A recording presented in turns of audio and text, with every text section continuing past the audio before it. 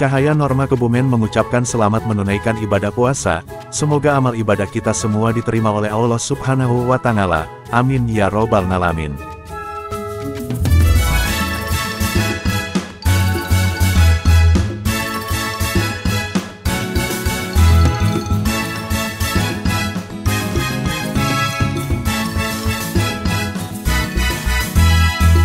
Ngabuburit menjadi salah satu tradisi yang tak bisa dilepaskan, seiring datangnya bulan Ramadan. Biasanya, warga Kebumen beramai-ramai keluar rumah sembari menanti buka puasa.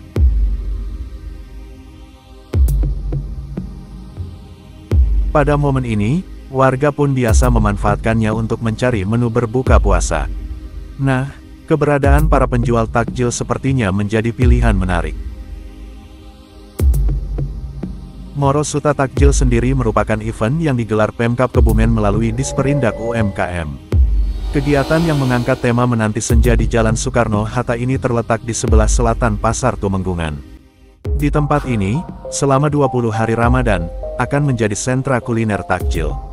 Moro Suta Takjil akan berlangsung selama bulan suci Ramadan di trotoar Jalan Soekarno-Hatta Kebumen tepatnya sebelah selatan Pasar Tumenggungan Kebumen. Ini mulai buka dari pukul 15 waktu Indonesia Barat sampai dengan menjelang waktu buka puasa. Kepala Bidang Dinas KUKM Kabupaten Kebumen Danang Dwi Hartanto menjelaskan kegiatan ini juga untuk mengenalkan produk-produk pelaku UMKM Kebumen kepada masyarakat.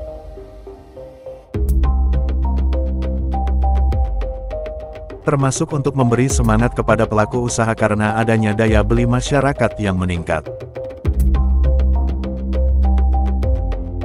Warga kota laut julukan kota Kebumen ini pun banyak yang lakukan aktivitas ngabuburit dengan jalan-jalan sore atau hanya sekadar nongkrong di seputaran Tugu Laut, Pasar Temenggungan, serta di alun-alun Kebumen. Di sepanjang jalan itu terdapat para pedagang musiman yang menawarkan dagangannya dengan aneka pilihan mulai dari makanan kecil, minuman, serta aneka lauk pauk dan sayur untuk berbuka puasa.